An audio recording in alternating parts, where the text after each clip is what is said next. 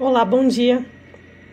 Eu me chamo Lisandra Fabre, eu estou atualmente no sexto semestre do curso de Química Tecnológica da Universidade de Brasília e hoje eu venho falar do projeto que eu desenvolvi ao longo do último ano com o título Policaprolactona como substrato polimérico na é, elaboração de nanopartículas.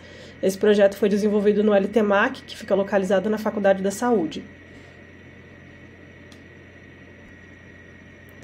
Bom, esse projeto começa com as razões pelas quais esses dois componentes, né, policaprolactona e é, teobromina, foram escolhidos como componentes dessas formulações que foram preparadas. O PCL é um polímero altamente versátil, muito utilizado na preparação de partículas poliméricas diversas, e esse fármaco tem também uma série de funções. Ele pode atuar como diurético, como é, estimulante, vasodilatador. E durante as minhas pesquisas eu percebi uma ausência de estudos, de artigos a respeito de uma formulação que unisse esses dois componentes.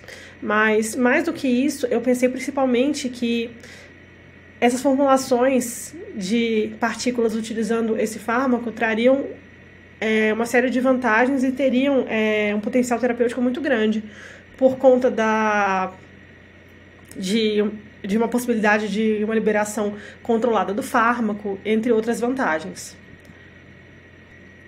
O processo que foi selecionado para a preparação dessas formulações foi a nanoprecipitação, que consiste basicamente na preparação de duas fases, né? Fase orgânica e fase aquosa. E a formação das partículas ocorre na hora em que uma fase é unida à outra. Esse processo pode ser tanto feito vertendo uma fase na outra, como gotejando, que foi o caso aqui.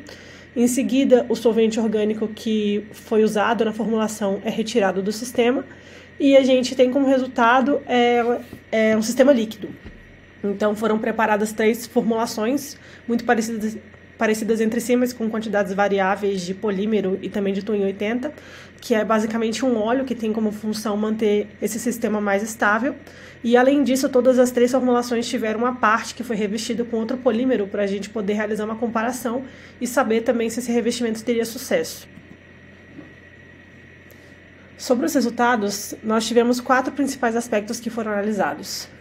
O tamanho, que está relacionado com os diâmetros médios apresentados pelas partículas obtidas, o índice de polidispersão, que diz o quanto que esses diâmetros são parecidos entre eles, as cargas que ficam na parte de fora né, das partículas, que tem relação com o tipo de polímero que foi utilizado, se esse polímero for aniônico ou catiônico, que dita se essas cargas serão positivas ou negativas, e o quanto do fármaco que foi utilizado que efetivamente entrou na partícula, né? O quão é, é, eficiente foi esse processo.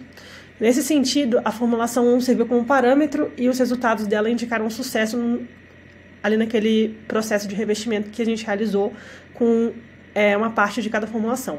A formulação 2, se comparada com a 1, teve melhores resultados por conta do aumento da quantidade de, de Twin 80, né, porque esse sistema ficou mais estável.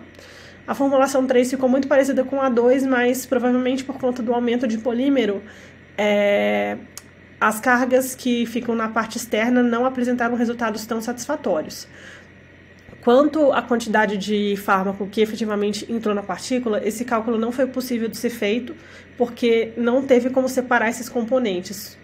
É, houve uma interferência do solvente na hora da análise, então esse parâmetro ele realmente não teve como ser analisado. Mas de forma geral a gente conseguiu chegar à conclusão que esse polímero, né, que foi testado ao longo de todo esse projeto, né, o PCL, apresentou resultados muito bons. É, e mais do que isso, essas partículas que foram preparadas também se mostraram muito promissoras para outros estudos que possam ser realizados em algum projeto futuro. Então, nesse sentido, a gente pode considerar que o projeto teve muito sucesso. Aqui estão as referências que foram utilizadas. Fica aqui todos os meus agradecimentos a, a todas as pessoas que me ajudaram durante esse projeto. E é isso. Muito obrigada.